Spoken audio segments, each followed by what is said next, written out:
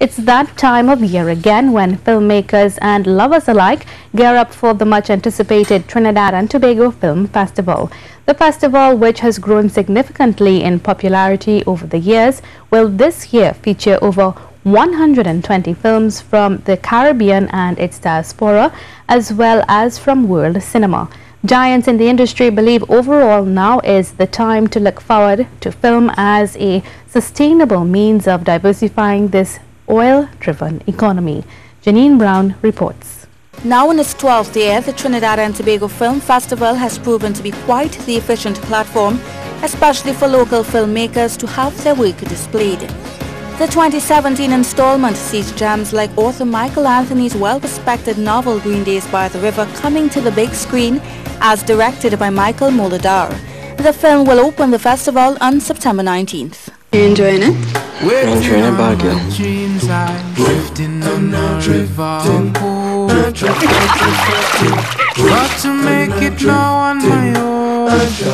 some The film festival has been well endorsed by the Ministry of Community Development, Culture and the Arts.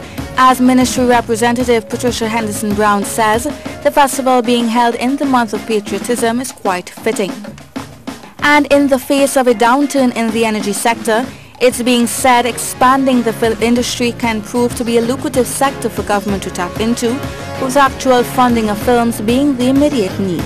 And we're really looking at regional incentives and co-productions that day, largely, a large part of which is because as funding has become increasingly difficult for filmmakers throughout the region, Trinidad is no different from anywhere else, uh, we realize that the filmmakers need to get more inventive and to have a different ideas about how they can get their funding. I know some of them have done a great job already. This year's festival will see special additions to the week-long agenda, such as Patriotism Day, where only Trinidad and Tobago films will be featured.